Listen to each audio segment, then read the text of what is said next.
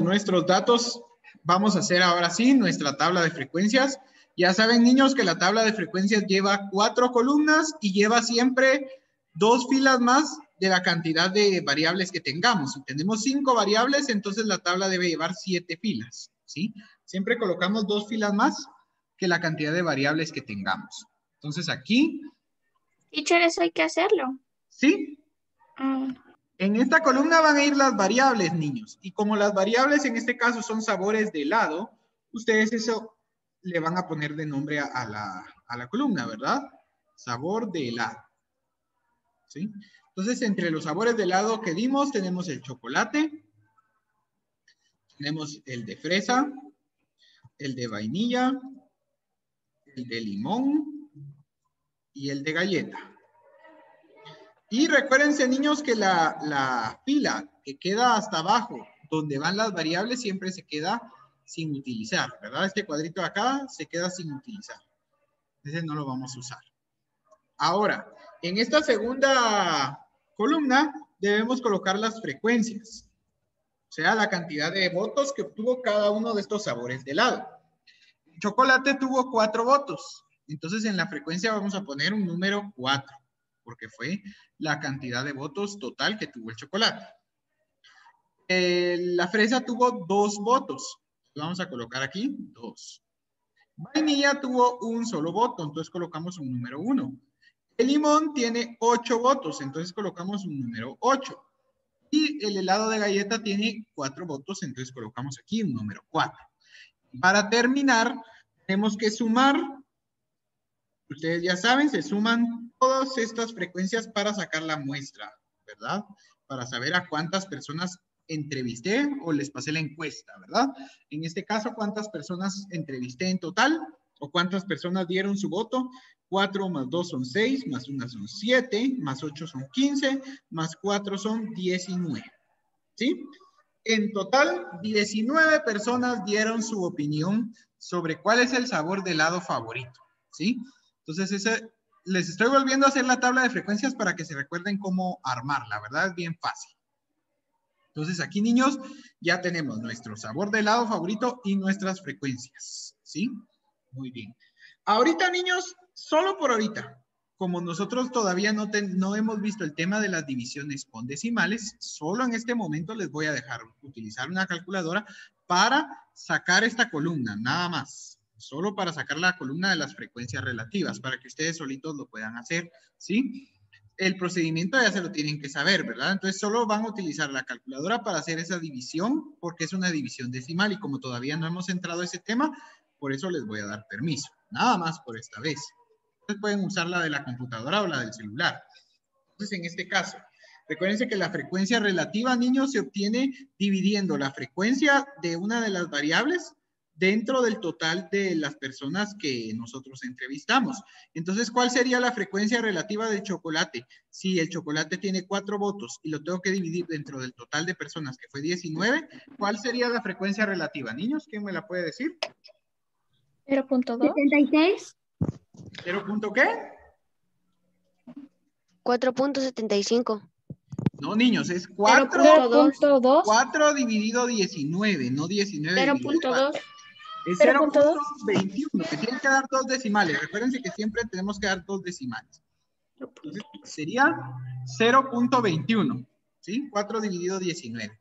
Ahora aquí, niños, para sacar la otra frecuencia relativa sería la frecuencia del, del sabor fresa, que es 2, dividido la población o la muestra total, que sería aquí 19. ¿Cuál es la frecuencia relativa entonces del sabor fresa, niños? 0.10. 0.10. ¿Cuál es el tercer decimal que tiene? 5. 5. Entonces recuérdense que a partir del 5 se aproxima. Entonces ahí no es 0.10 sino 0.11. ¿Oyeron? Porque como dice 0.105, ese 5 aproxima al 0, entonces se vuelve 0.11. ¿Sí? Si fuera 0.104, eh, ahí sí no se aproxima, se queda como 0.10. Pero si tiene un 5 para arriba, después de la segunda posición, se aproxima, ¿oyeron? Ahora aquí, niños, 1 dividido 19, ¿cuánto nos queda? Cero. 0.05. 0.05. Muy bien, 0.05. ¿Sí? Siempre tenemos que sacar dos decimales. Siempre.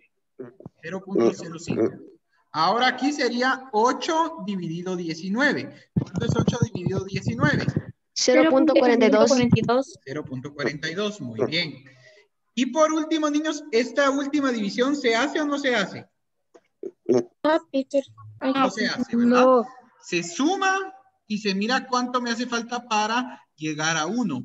Y eso es lo que vale esta última frecuencia relativa. Entonces sumen, niños, 0.21 más 0.11 más 0.5 más 0.42, ¿cuánto les da?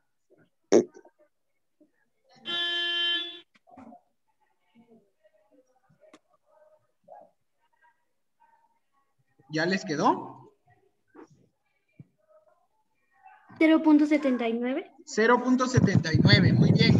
Entonces, ¿cuánto hace falta para llegar a 1 si tengo 0.79? ¿Cuánto?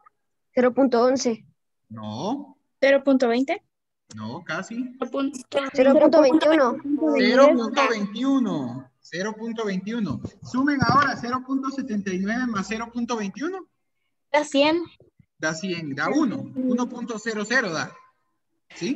O sea, eso es lo que nos tiene que dar siempre, ¿verdad? Al sumar todas estas frecuencias relativas, les tiene que quedar 1. ¿Sí? Si ustedes suman ahorita el 0.21 más el 0.11 más el 0.05 más 0.42 más 0.21, les va a quedar 1. ¿Sí? 1 exacto. 1.00 les va a quedar. Entonces, ya sacamos las frecuencias relativas. Ahora, sacamos los porcentajes. Aquí sí ya no pueden usar calculadora. Solo pueden usar para esta columna, ya saben, ¿verdad? Para esta, niños, ya saben ustedes que tienen que multiplicar la frecuencia relativa por 100. Pero aquí es tan fácil que al multiplicar la frecuencia relativa por 100, siempre les va a quedar el número que tienen después del punto decimal. O sea que aquí, si yo multiplico 0.21 por 100, ¿cuánto me queda? 21. 21. 1%. Si yo multiplico 0.11 por 100, 11. 11%. 0.05 por 100, 5. 5. 5%, muy bien, porque sería 0,5%, pero no se escribe ese 0, ¿verdad? Muy bien. 42%, 42. 42%, y 20 0.21%, 21. 21%. 21%, muy bien. Ahora, si suman todos estos porcentajes, les tiene que quedar 100. 100. 100. Súmenlos y me dicen si sí les queda 100. 21 más 11, Sí, teacher. más 5 más 42 más 21. Sí nos queda 100, ¿verdad? Sí, nos queda 100. Excelente. Entonces, niños, aquí ya terminamos nuestra tabla de frecuencias. Ya está completamente terminada nuestra tabla de frecuencias. Para que ustedes miren que no es nada del otro mundo hacer una tabla de frecuencias, ¿sí? Es muy fácil. Ahora, vamos con nuestra gráfica de barras. Voy a copiar aquí la cuadrícula nada más porque volver a hacer cuadrícula me va a costar mucho. Ahí está. Vamos a borrar todo esto. ¿Ah? Y vamos a borrar esto también.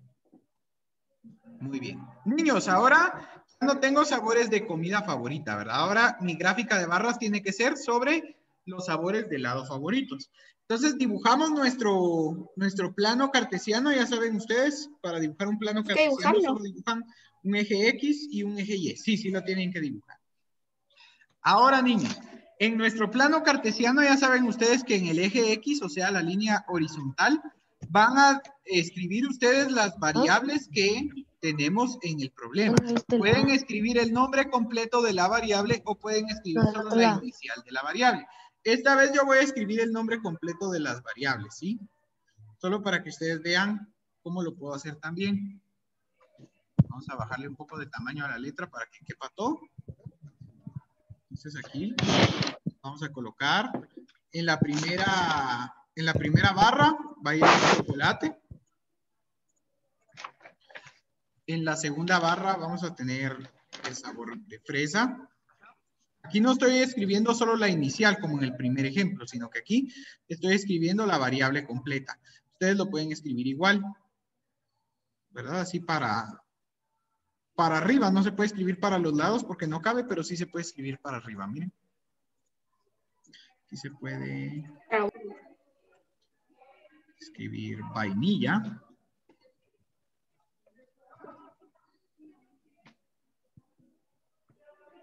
Miren qué bonito queda así para arriba, ¿ven? La idea, niños, es que nosotros hagamos nuestra gráfica lo más ordenada posible. No la vayamos a hacer torcida. Las barras se hacen con regla. Por eso tienen cuadrícula ustedes ahí en el cuaderno, ¿sí? Porque si no nos queda todo horrible y no se entiende. Entonces, yo no voy a calificar gráficas de barras si no están hechas con regla, así como las estoy colocando yo aquí, nítidas, ¿sí? Ya estamos en sexto primaria, entonces tenemos que trabajar nítido, ¿sí? Entonces, aquí dice chocolate, fresa, vainilla. Teníamos también el helado de limón.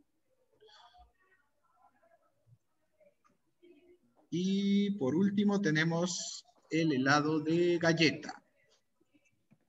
Pobre mi Cecia, no sabe que el helado de galleta perdió. Ahí está. Ahora, niños, ya que escribimos todas nuestras variables en, nuestra, en nuestro plano, ahora vamos a escribir la escala que más se adapte aquí en el eje Y, ¿verdad? Ya sea de 1 en 1, de 2 en 2, de 3 en 3, de 4 en 4, de 5 en 5, o dependiendo de qué tan grande sea nuestra frecuencia más grande en la tabla. ¿Cuál es nuestra frecuencia más grande, niños, en la tabla? 8. 8. Entonces, ¿qué escala puedo usar aquí en la, en la gráfica de barras? ¿De 1 en 1, de 2 en 2, de 3 en 3, de 4 en 4, de 5 en 5 o más grande? ¿Cuál puedo utilizar? De 1 en 1. De 1 en 1, ¿verdad? Porque la frecuencia más uno grande uno. es 8, no es tan grande. Entonces, si yo coloco los números de 1 en 1, qué bien, voy a lograr llegar hasta el número 8, ¿verdad? Entonces, sí, miren, puedo usar la escala de 1 en 1, porque la frecuencia más grande es 8. Entonces, sí me cabe. Ahora, niños, vamos a ver. ¿Cuántos votos tuvo el chocolate? Recuérdense que para la gráfica de barra solo nos sirven estas dos columnas. Cuatro. Estas dos las ignoramos. Nos, no, tuvimos cuatro votos con el chocolate. Muy bien. Entonces, ¿hasta dónde va a llegar la barra del chocolate? Del 4. Del Hasta 4. el número 4. Muy bien. Entonces, vamos a pintar aquí. El chocolate lo vamos a poner del color que es el chocolate. Le vamos a poner cafecito. Ahí está. El helado de fresa, ¿cuántos votos tuvo? 2. Solamente tuvo dos, muy bien. Entonces vamos a subir la barra del, del sabor de fresa únicamente hasta el número 2. Colocamos aquí colorcito de fresa. Ahora, niños, el helado de vainilla, ¿cuántos votos tuvo? 1. Uno, nada más, pobre Uno. el helado de vainilla, solo uno. Entonces, la gráfica, la barra de- del sabor de vainilla solo va a subir hasta el número 1. Vamos a poner aquí el color de la vainilla. Ahí está. Ay, solo de ver esos colores ya me dio hambre. Me recordé del helado napolitano. Ahora, niños, el helado de limón, ¿cuántos votos tuvo? 8. Ocho. Ocho. Muy bien, aquí está. Miren, ocho votos. Entonces la barra de limón va a subir hasta el número 8. Entonces vamos a colorear aquí de color limón. Muy bien. Y por último tenemos el helado de galleta. El helado de galleta, ¿cuántos votos tuvo? 4. Cuatro. Aquí lo tenemos en la tabla. Miren, entonces como el helado de galleta solo tuvo cuatro votos, vamos a llegar hasta el número 4 en la barra del helado de galleta. El vainilla no lo pintó. Bien, está pintadito. Ah, no. No, el de vainilla está Blanco. pin- Bien, aquí está está pintado. con, con amarillito. Ajá, es como color cremita, miren, no se parecen estos dos colores. Esto es blanco, pero este es como color. Ah, sí. Ajá. Entonces, niños, aquí está ya nuestra gráfica de barras completa. Dice, yo también había pensado que, que no lo había pintado. Estoy choco crispy. bien, es que como la vainilla es casi blanca, pero es como color cremita, entonces lo pinté bien pálido. Porque como estoy bien choco crispy. Ahí No está, miren, niños. Y lástima que no tenía el color de la galleta, porque el color de la galleta es como un blanco hielo con puntitos cafés, pero como no, no tengo ese color, pinté de color así como cafecito, pero más claro que el de chocolate. Entonces, niños, esta sería nuestra gráfica de barras completa de esta tabla. Miren, representando que el chocolate tuvo cuatro votos, la fresa tuvo dos, la vainilla tuvo uno, el limón tuvo ocho votos y el helado de galleta cuatro votos. Entonces ahí ya terminamos nosotros nuestra gráfica de barras. Me avisan cuando la terminen de copiar. Listo, teacher. ¿Listo? Muy bien. Ahora sí, niños, un ejercicio para ustedes. Este ejercicio va a valer cinco puntos. Entonces ahí lo hacen bien. Si no nos da tiempo de terminar ahorita en clase, les queda de tarea para entregarlo hoy o mañana, ¿verdad? Les dejo la tarea hoy para no tenerles que dejar mañana, que es viernes. Entonces, vean, en este ejercicio van a hacer exactamente lo mismo que yo he estado haciendo, niños. Les voy a dar una encuesta. Ustedes van a armar la tabla de frecuencias y van a hacer su gráfica de barras, ¿sí? Todo esto por un increíble valor de 5 puntos. ¿Sí? Está fácil el ejercicio para ganarse sus 5 puntos, ¿sí? Y por Entonces, vean- cinco puntos vamos a ver hasta el año, así que háganlo. Exacto. Es buen consejo el de, el de Ian. Hay que esforzarse por 5 puntos porque por 5 se pierde el año. Muy bien. Entonces, vean pues, niños. Vamos a colocar ahora la siguiente pregunta que también sé que les va a gustar. ¿Cuál es tu sabor de bebida gaseosa favorita? Eso es, eso es de la tarea. Esta es del ejercicio, ajá. ¿Cuál es tu sabor de bebida gaseosa favorita? Vamos a tener las siguientes opciones. Vamos a tener la Pepsi. Es para hoy. Vamos a tener la Coca-Cola. ¿Es para hoy o lo pueden entregar mañana? Si no, Doctor lo mejor si lo terminan hoy de una vez. Pepsi, Coca-Cola. Vamos a tener la Lip. Vamos a tener la Grapete. Grapete puse yo. Grapete. Vamos a tener Mande. Vamos a tener la Orange. Y vamos a tener la Tiki para la gente bonita. Muy bien. Entonces, niños, tenemos seis sabores de bebidas. Les voy a preguntar, pero aparte voy a agregar otros votos porque quiero que esta, esta encuesta lleve más votos, ¿sí? Entonces quiero saber, voy a volver a hacer una encuesta aquí para que ustedes